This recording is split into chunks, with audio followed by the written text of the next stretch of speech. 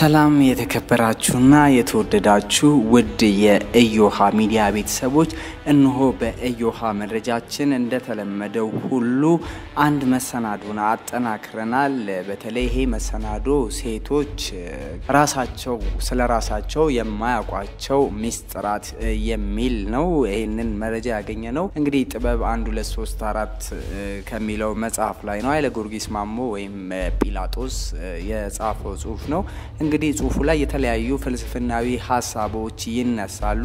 በእውነትም በጣም አሳማኝ የሆኑ ነገሮች አሉና በክፍል ከፋፍለን ነው ወደ እናንተ የምናደርሰው። እንግዲህ ሴቶች ስለ ራሳቸው የማያውቋቸው ሚስጥራቶች ናቸው። ወደ መጀመሪያው ስናልፍ እንሆ ከአዳም ጎን አንዲት አጥንት ወጣች፣ እስከ ዛሬም ታሟለች የሚል ርዕስን የያዘው ከምዕራባውያን ፈላስፎች ታላቅ ክብር የሚቸረው ባውሴት እግዚአብሔርን ቢያገኘው እግዚአብሔርንም አንድ ጥያቄ ብቻ የማቅረብ እድል ቢሰጠው ያ ጥያቄ ምን ሊሆን እንደሚችል በተማሪዎቹ ተጠይቆ ሲመልስ ሔዋንን እንዴት እንደፈጠርካት ንገረኝ እለው ነበር ነበር ያላቸው። ባውሴት ይህንን ይበል እንጂ በሌላ አጋጣሚ ሲናገር እግዚአብሔር አዳምን ፈጥሮ ከጨረሰ በኋላ አተኩሮ ተመለከተውና ከዚህ የተሻለ መስራት ይችል ነበር በማለት አሰበ። ለጥቂት ጊዜም አሰላሰለና ወንድን በመፍጠሩ ተጸጸተ ይለናል። እግዚአብሔር ሔዋንን ስለ መፍጠሩም ቢሆን ባውሴት እጠራጠራለሁ ብሏል። ለዚህም ነው እግዚአብሔር ከአዳም በኋላ እምብዛም ሰው ለመፍጠር ያልተጨነቀው ይለናል። እግዚአብሔር ሔዋንን የፈጠረበት ብቸኛው ምክንያት የአዳም ጥያቄ ነው የሚሉት ምዕራባውያን ፈላስፎች ደግሞ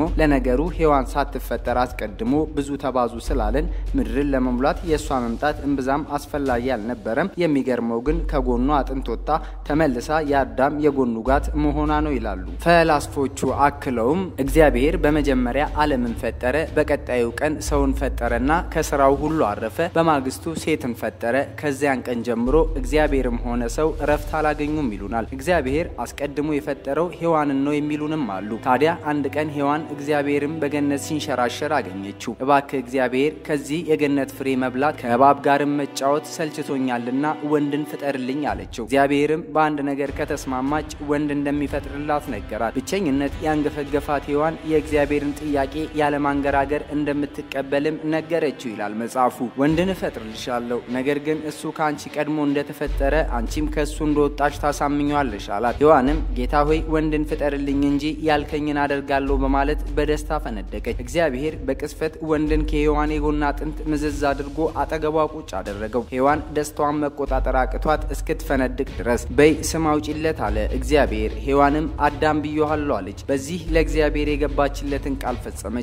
አዳም ማለት የፍጥረት ሁሉ መጀመሪያ ማለት ነዋ። በዚህ ታሪክ ከተስማማን ሴት ውሸትን የተማረችው ከእግዚአብሔር ሊሆን ነው። እግዚአብሔር ደግሞ አይዋሽም። እንዲያውም ሔዋን ድንገት አዳልጧት ለአዳም እውነቱን ትነግረው ይሆናል በማለት በእሷ ላይ ክትትሉን እስከ ዛሬ አላቋረጠም። የመጀመሪያ ስራው ያደረገው ሔዋን የምትናገረውን ሁሉ አዳም እንዳያምናት ማድረግ ነበር። በዚህ በኩል እግዚአብሔር የተሳካለት አይመስልም። እንዲያውም አዳም ከእግዚአብሔር ይልቅ የሚያምነው ሔዋንን ሆነ። እግዚአብሔር አትብላ ያለውን ፍሬ በልቶ በሕይወት ከመኖር የሔዋንን ቃል ሰምቶ መሞትን መረጠ። በዚህም እግዚአብሔር ቂም ቋጥሮ ትሞታለህ አለው። አዳም እንግዲህ ለፍቅር የተሰዋ የምድራችን የመጀመሪያው ጀግና ሆኖ ይወሳል ማለት ነው። ሔዋን የእግዚአብሔርን ቃል ትፈጽም እንጂ ራሱን እግዚአብሔርን መጠርጠሯ ደግሞ አልቀረም። በተለይም አዳም በገነት ውስጥ ሲዞር አምሽቶ ከመጣ ቁጣዋና ግልምጯ አዳምን ማበሳጨት ጀምሮም ነበር። ታዲያ አንድ ቀን አዳም ሲዞር ካመሸበት በድካም ተመልሶ አልጋው ላይ ጎኑን እንዳሳረፈ እንቅልፍ ይዞት ይሄዳል። ከእንቅልፉ በድንገት የባነነው ሔዋን ደረቱን ስትቆነጥጠው ነበር። በድንጋጤ የነቃው አዳም ምን እያደረገች እንደሆነ ሔዋንን ጠየቃት። የሔዋን መልስ አጭር ነበር። የጎድን አጥንትህን እየቆጠርኩ እግዚአብሔር ሌላ ሴት ሰርቶለት ይሆናል ብላ መጠርጠሯ ነበር። አንድ በምዕራባውያኑ ዘንድ የተለመደ ቀልድ ላውጋችሁ። በምድር ላይ የነበረው የሰው ዘር በሙሉ ይሞትና ወደ እግዚአብሔር መንግስት ይሄዳል። ታዲያ በዚህ እግዚአብሔር ለሁሉም አንድ ትእዛዝ ይሰጣል። ይኸውም ወንድን የበደሉ ሴቶች በግራ በኩል እንዲሰለፉና እንዲመዘገቡ ነበር። ሴቶች በሙሉ ይሰለፉና ይመዘገባሉ። ምዝገባው ሲያልቅ በሉ ወደ ገነት ሂዱ ይላቸዋል። የወንዶች ተራ ይደርስና በሴት የተበደላችሁ ወንዶች በአንድ መስመር፣ ሴትን የበደላችሁ ደግሞ በሌላ መስመር ተሰለፉና ተመዝገቡ ይላል። በሴት የተበደሉት ሰልፍ በወንዶች ሲሞላ፣ ሴትን በበደሉት ሰልፍ ላይ የቆመው ግን አንድ ወንድ ብቻ ነበር። እግዚአብሔር ሰልፉን ሲመለከት በጣም ተቆጣና እናንተ በእኔ መልክና ምሳሌ ሰርቻችሁ በሴት ስትበደሉ መኖራችሁ ሊያሳፍራችሁ ይገባል። በእሱ ደስ የሚለኝ አንዱ ልጄን ተመልከቱት፣ ከእሱም ተማሩ። ልጄ ሆይ በአንተ ኮራው፣ እንዴት በዚህ ሰልፍ እንደገባ በል ለሌሎቹ ንገራቸው በማለት እግዚአብሔር አዘዘው። ሰውየው ግን ግራ በተጋባ መንፈስ ጌታ ሆይ በዚህ በኩል ለብቻዬ መቆሜ ለእኔም ግራ የገባኝ ነገር ነው። ምክንያቱም በዚህ በኩል እንድሰለፍ ያዘዘችኝ ሚስቴ ነበረች በማለት መለሰለት። መቼም የፍልስፍና ተግባር ሕይወትን መዳሰስ ሲሆን የሕይወቱ አንዱ ክፍል ደግሞ ሴቶች ናቸውና ፍልስፍና እነሱንም በሚገባ ዳሷል። ወንድን ጓደኛህ ልታደርገው ስትችል ከሴት ጋር ግን ከትውውቅ በላይ ልታልፍ አትችልም ያለው ማን ነበር? ታሪክ እንደሚነግረን በጥንታዊ የአይሁዶች ሕግ አንድ ሰው ሴት ልጅ ከወለደች ሻማ አያበራም። ሴት ልጅ የወለደች እናትም የመንጻት ጊዜዋ ወንድ ልጅ ስትወልድ ከሚኖርባት እጥፍ ጊዜ ነበር እንደ ረከሰች ስለምትቆጠር። እንዲሁም የአይሁድ ወንድ ከእግዚአብሔር ጋር ራሱን ያቀራረበ አድርጎም ያስባል። በየዕለቱም ከሚጸልያቸው ጸሎቶች አንዱና ዋነኛው አምላኬ ሆይ አህዛብ ወይም ሴት አድርገ ስላልፈጠርከኝ አመሰግንሃለሁ ነበር። ይህ እምነት በምስራቁ ጎራ በአንድ ወቅት ተስፋፍቶ እንደነበረና እንዲያውም በአንዳንድ ሀገሮች ወንድ ልጅ ያልወለደች ሴት እየተናቀች እንደነበረች ታሪክ ዘጋቢዎች አስፍረውት እናገኛለን። እግዚአብሔር ሔዋንን ወንድ እንዳያምናት ያደረገው ጥረት ሙሉ በሙሉ ከሽፏል ማለትም አይቻልም። ታላቁ ራሽያዊ ደራሲ ቶሎስቶይ ወዳጆቹ ጎርኪና ቼኮቭ ወጋቸውን ሲሰልቁ በመንገድ አገኛቸው። የወዳጆቹ ወግ ስለ ሴት እንደነበር የተረዳው ቶሎስቶይ ወጋችሁ ውሸት ነበር ማለት ነዋ እኔ ስለ ሴት እውነት የማወራው አንድ እግሬ በመቃብር አፋፍ ላይ ተንጠልጥሎ ነው። ያን ጊዜ እውነቱን ተናግሬ ወደ መቃብሬ እዘላለሁ አላቸው። ምናልባት የቶሎስቶይ ፍርሃት ስለ ሴት እውነቱን ተናግሬ በምድር ላይ አያኖረኝም የሚል ስጋት ይሆናል። አርስቶትል ስለ ሴት ሲናገር ተፈጥሮ በመጀመሪያ ወንድን ፈጠረች፣ ለሁለተኛ ጊዜ ደግሞ ወንድን መስራት ስትጀምር ስራዋ ከሸፈባትና ሴት ሆነች አለ። እንግዲህ ሴት የተፈጥሮ ክሽፈት ናት ማለቱ ነው። በአርስቶትል ሀሳብ ብዙዎች ፈላስፎች ሲስማሙ ይህን ጉዳይ ራሱ እግዚአብሔርም አምኖበታል አድርጎታልን በማለት ነው። በመጽሐፍ ቅዱስ በብሉይ ኪዳን ውስጥ እግዚአብሔር ለሙሴ በመጨረሻ በሰጠው ትእዛዝ የእስራኤል ወንድ ልጆች ሴቶችን፣ እናቶችንና ከብቶችን እንዲሁም የቤቶቻቸውን ንብረት ሰብስበው ከግብፅ እንዲወጡና እሱም እንዲመራቸው ማዘዙን ይጠቅሱና እንግዲህ ሴት ለወንዱ እንደ አንድ የንብረቱ ክፍል አድርጎ እግዚአብሔርም ቆጥሯታል ይሉናል። ብዙዎቹ ፈላስፎች ሴትን የተፈጥሮ ስህተት አድርገው ለመሳል ቢሞክሩም ፕሌቶ ስህተቱ የተፈጥሮ ሳይሆን የወንዶች ሀሳብ ነው በማለት ያጣጥሏል። ስለዚህም ሲናገር ቆንጆ ልጃገረድ በአጠገቡ ስታልፍ አንገቱን ጠምዝዞ በዓይኑ የማይከተል በልቡም የማይመኝ ወንድ ለመኖሩ እጠራጠራለሁ ይለናል። እንደ ፊሮ አይነቱ የዚያ ዘመን ፈላስፎች ደግሞ ይህን ሲሰማ ወንዱ በዓይኑ የተከተለው በልቡም የተመኘው የራሱን ምኞት እንጂ የሴቷን ውበት አይደለም። እንዲያውም አይሁዶች ስለ ሴት የነበራቸው እምነትና ንቀት እግዚአብሔር እንዳዘዘውና ሕግም ሆኖ እንዲኖር የሰሩት ስራ ተሳክቶላቸዋል ይለናል። ፕሌቶ ይህን ይበል እንጂ የእሱ ደቀ መዛሙርት የነበሩት ደግሞ ሲናገሩ የፕሌቶ ጸሎት አንዲት ብቻ ነበረች።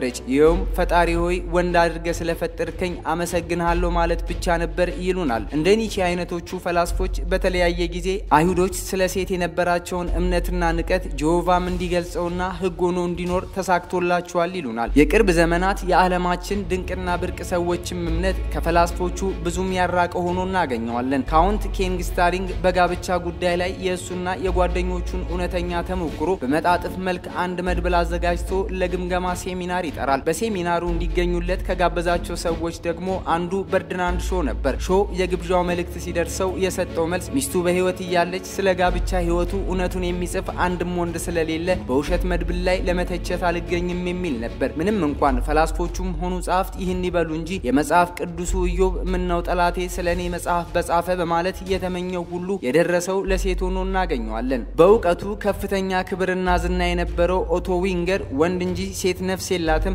ስትፈጠር ያለ ነፍስ ነው የተፈጠረችው ይል ነበር። ምንም እንኳን በዚህ ሀሳቡ ለረዥም ጊዜ ሽንጡን ገትሮ ይከራከር እንጂ የቤቱ አገልጋይ በነበረች ፍቅር ተሸንፎ ሲሰቃይ ፊቷን ስላዞረችበት ራሱን እስከ ማጥፋትን መድረሱን ታሪክ ይናገራል። አንድ አህጉር ሙሉ ጠቅልሎ ለመግዛት ከዳር ደርሶ የነበረው ናፖሊዮን ቦናፓርትም አውሮፓን ጠቅልሎ ሲገዛ ሚስቱን ግን መግዛት እንዳልቻለ በራሱ አንደበት የተናገረውን ምስክር ሆኖ እናገኘዋለን። ናፖሊዮን ሲናገር ኃይሌና ብርታቴ ታላቅ ክብርና ሞገስን ያስገኘልኝ ጀግና ብሆንም በሚስቴ ጆሴፊን ፊት ግን ደካማና ልፍስፍስ ነበሩ። ይህንን እሷን በሚገባ ታውቀው ነበር ብሏል። እግዚአብሔር ወንድ ስለሆነ ወንድን ሲፈጥር አድሎ የፈጸመ መስሎ የሚሰማቸው ብዙዎች ቢኖሩም ወንድንም በድሎታል በማለት የሚከራከሩም አልጠፉም። የ18ኛው መቶ ክፍለ ዘመን ድንቅ ፈላስፋ ሞሪሰን እዚህ ላይ ልጥቀስ። እግዚአብሔርም አዳምን ጠራው። አዳም ሆይ መልካምና ክፉ ዜና አምጥቼልሃለሁ፣ በመጀመሪያ የቱን ልትሰማ ትወዳለህ በማለት ጠየቀው ይላል። አዳምን መለሰ መልካሙን ዜና ይሁና ጌታ ሆይ አለው። እግዚአብሔርም መልካሙ ዜና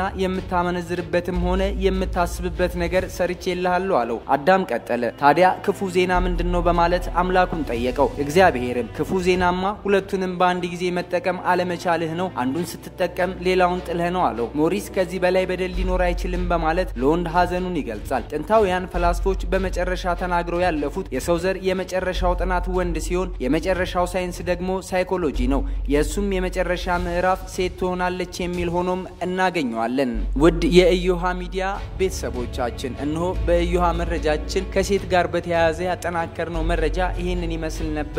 በሌላ መረጃ እስክንገናኝ ድረስ ሰላም ለእናንተ እንዲሆን እየተመኘን ሁሌም አዳዲስ ወቅታዊና ትኩስ መረጃዎች እንደዚሁም ጤና ነክ ጉዳዮችና ሌሎች የመዝናኛ መሰናዶዎችን ለማግኘት እዮሃ ሚዲያ የተሰኘ የዩቲዩብ ቻናላችንን subscribe በማድረግ ቤተሰብ መሆን እንደምትችሉ እንጠቁማቸዋለን።